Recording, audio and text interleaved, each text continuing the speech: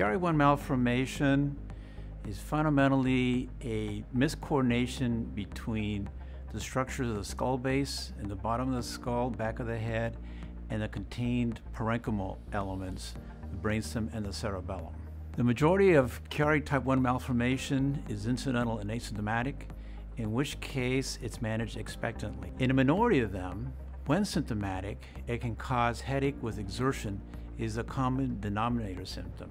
People are counseled as to what the symptoms may be, and so long as they don't have them, they live their lives.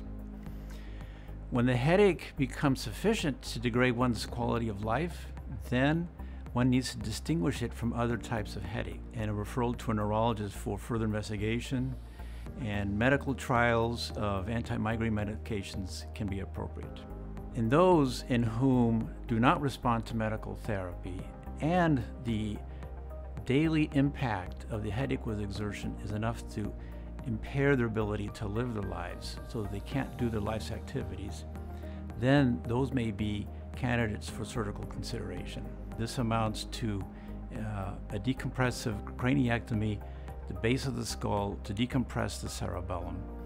That has a good track record of relieving the headache with exertion.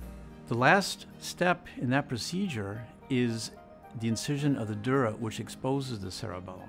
We have applied to the hospital, and the Human uh, Ethics Committee for Research has cleared us to do a study of the electrical properties of the cerebellum when exposed.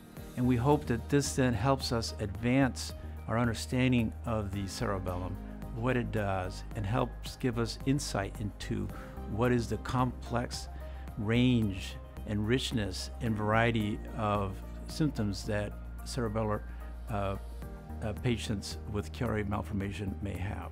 Chiari malformation involves neurology, involves psychiatry, involves neurophysiology, involves surgery, involves the operating room. It involves many, many different areas.